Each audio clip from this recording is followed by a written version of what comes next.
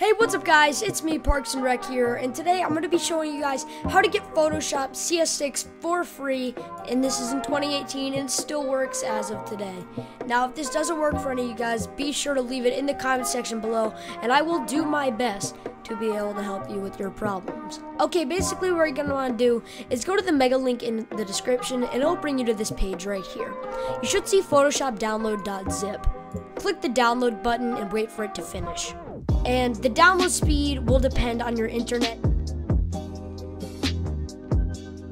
Once your download is finished, basically what you're going to want to do is drag that to your desktop.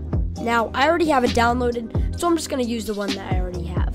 What you're going to want to do is download WinRAR. If you don't have it, it's in the description. Basically, right click and click Extract to PS Download. Once you do that, you should get a little file that says PS Download. Open it up and you'll get this Photoshop folder. Next, right-click the setup and click Run as Administrator. In this folder, you should get two files, a serial number and a setup. Run through the setup very quickly.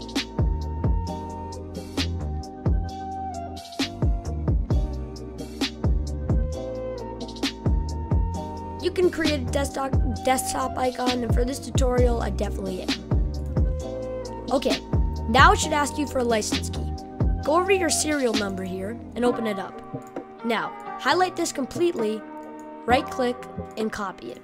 Go back to the Photoshop setup. Right click your license key and click paste. Now click next. It should say ready to install. Click install. Once this finishes, you are good. You now have Photoshop completely installed on your computer, and you can use it for anything you would like. Anyways, guys, thank you for watching this short tutorial. I've been Parks and Rec, and I'll see you later. Bye.